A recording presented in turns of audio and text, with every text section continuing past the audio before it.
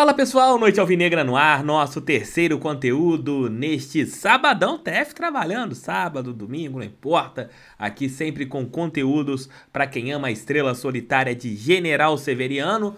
Vamos fazer aqui um resumão de informações do Botafogo, claro, com a informação do dia, divulgada primeiramente pelo Lance, e o canal do TF vai trazer detalhes a respeito da compra de mais 30% dos direitos econômicos do Erisson. O El Toro agora tem 40% dele dentro do Glorioso. Daqui a pouco trarei detalhes a respeito disso, porque muitos torcedores estão em dúvidas, né, com dúvidas. Pô, só temos esse percentual e a parte ali da multa é baixa. O que vai acontecer? Esse valor é agora e alguém paga 5 milhões de euros e vai levar o Erisson. Realmente, da maneira que está, com o contrato que está hoje, 5 milhões de euros, qualquer equipe chegando e depositando esse valor, o jogador pode sair do alvinegro, mas não é bem assim. Tem muitas coisas que acontecerão a respeito deste contrato. Daqui a pouco trarei detalhes para vocês.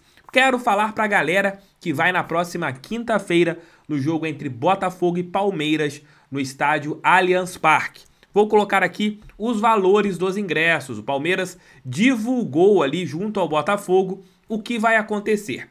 Abro aspas aqui para a nota divulgada pelo Botafogo. Estão à venda os ingressos para a torcida do Botafogo para o duelo contra o Palmeiras que acontece na próxima quinta-feira, às 19 horas, no Allianz Parque. Os ingressos para a partida da décima rodada já estão à venda no site www.ingressospalmeiras.com com.br A galera alvinegra está convidada para invadir São Paulo. Como não é mandante da partida, o Botafogo não tem responsabilidade sobre o preço ou venda dos ingressos, deixando bem claro que quem tem a responsabilidade é o mandante, no caso a equipe palestrina. Valores inteira R$ reais e meia 50. Procedimento para compra, tá tudo aqui então. E os torcedores botafoguenses, eles entrarão ali pelo portão D, que é o portão pela rua Padre Antônio Tomás, ali a partir das 17 horas. Você terá ali a abertura dos portões e também da bilheteria. Pelo que eu tenho visto ali, o movimento dos torcedores para a partida contra o Palmeiras será gigantesco. O glorioso, o torcedor glorioso, com certeza vai comparecer ao Allianz Parque para ver de perto esse jogo do Botafogo, que se Deus quiser, né, que a gente conseguir essa vitória importantíssima na próxima segunda contra o Goiás no estádio Newton Santos, será um jogo da parte de cima da tabela. Um adversário forte, talvez o time mais equilibrado do futebol brasileiro, será um grande teste para a equipe gloriosa que é comandada pelo também português Luiz Castro. Será o um encontro do Luiz Castro com o outro português, no caso, o Abel Ferreira, campeão, bicampeão da Libertadores, campeão da Copa do Brasil, campeão da Recopa, campeoníssimo com a camisa da equipe do Palmeiras. Quem vai nessa partida? Infelizmente não vou, não vou nesse jogo mas com certeza estarei aqui acompanhando, fazendo a nossa live pós-jogo, trazendo todos os detalhes de Botafogo e Palmeiras. Mas sem ser esse do Palmeiras, eu estarei indo em todos os outros. Ó, vou contra Goiás, vou contra o Havaí, vou contra o São Paulo, vou contra o Inter, é, vou no jogo depois, que vai ser da Copa do Brasil, entre esse jogo e depois do Fluminense. Então vou estar em, em todos os jogos do Botafogo agora daqui para frente. Vamos acompanhar de perto a estrela solitária de General Severiano. Quem vai estar comigo nessa?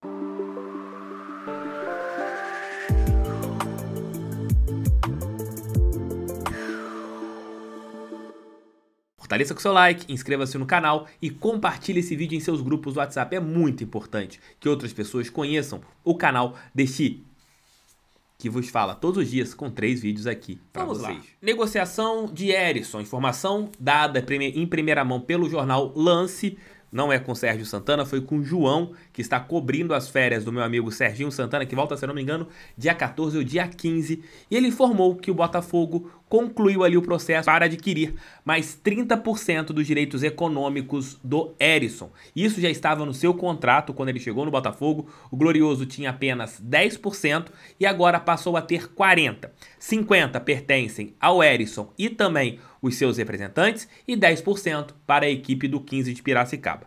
Vamos explicar como foi essa aquisição. Botafogo pagou ali 3 milhões de reais, valor que já estava em contrato.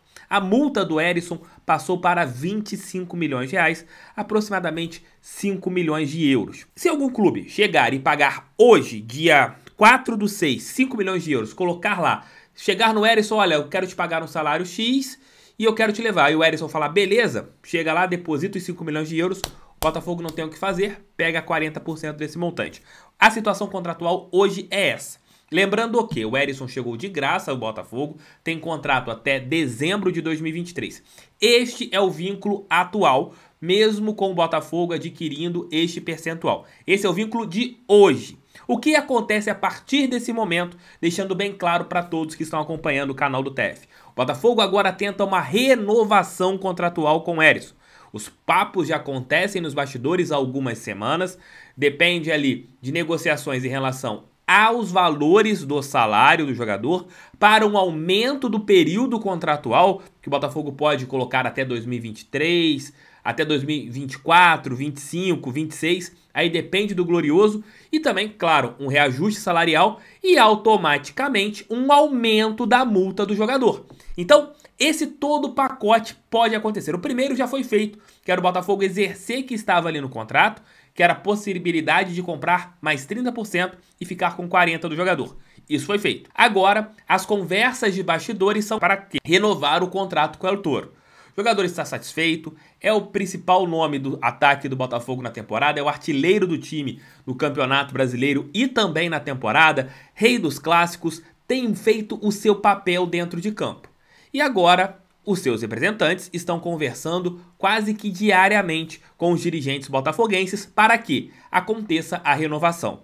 Claro, o jogador neste momento está muito valorizado, ele não vai aceitar um salário menor do que, é, digamos, que ele receberia há alguns meses. Ele é um jogador valorizado e sabe disso. E esse valor de 5 milhões de euros para uma multa rescisória é muito baixo para um jogador que está aqui, ó, no nível que o Erisson está em relação a destaque no futebol brasileiro. Acredito, e o Botafogo também, que a renovação aconteça, mesmo não sendo uma facilidade, mesmo tendo que acontecer conversas. O próprio John Textor já disse que é muito bom para o Erisson ficar no Botafogo, para o Matheus Nascimento eles ficarem no Botafogo. Por quê? O João tem boas relações na Europa, tá para comprar um percentual do Lyon, tá para comprar um percentual do Porto, e ele pode simplesmente falar assim, olha, vamos te contratar aqui para o Porto, vou te contratar para o Lyon. Você conseguiria fazer esta movimentação no mercado da bola. Então deixando bem claro, porque o torcedor está preocupado, poxa, comprou, mas a multa era 10 milhões de reais, agora está em 25, essa multa é de para o jogador como Erisson é muito baixa, realmente é muito baixa. Mas estava no contrato e lembrando que o Botafogo, no momento que comprou o Erisson, não era o Botafogo atual, era o Botafogo duro, o Botafogo quebrado, e o jogador chegou com uma boa oportunidade de mercado e está demonstrando ser ter sido uma ótima oportunidade de mercado. Agora esperar o quê? Que a negociação entre o Botafogo e o empresário do e, os empresários do Erisson, ela realmente ande para o jogador realmente ficar no Botafogo e ter sim ali sua multa rescisória aumentada e, claro, ter um belo reajuste salarial, porque ele está fazendo dentro de campo e quem está fazendo um bom trabalho merece também ser recompensado financeiramente. Explicado para vocês? Espero que sim, porque muita gente não está entendendo e eu fiz esse vídeo aqui para explicar todos os detalhes para quem acompanha o canal do TF. É isso, queridões, é isso, queridonas. Mais um Noite Alvinegra chega ao fim. Obrigado pelo seu carinho, muito obrigado pela sua audiência. Estou sempre aqui trazendo conteúdos sobre o Botafogo de Futebol Regatas. Valeu sempre aqui para trazer notícias e, claro, com muito cuidado para vocês ficarem sempre atentos e sem fake news, porque o trabalho do jornalista é sempre trazer um trabalho de qualidade e que vocês sempre fiquem ali felizes com o que eu trago aqui para vocês. Um beijo, tchau, tchau, fui. Bom resto de sábado, domingão, de madrugada, estarei de volta com o nosso giro de notícias. Valeu, tamo junto sempre, fui.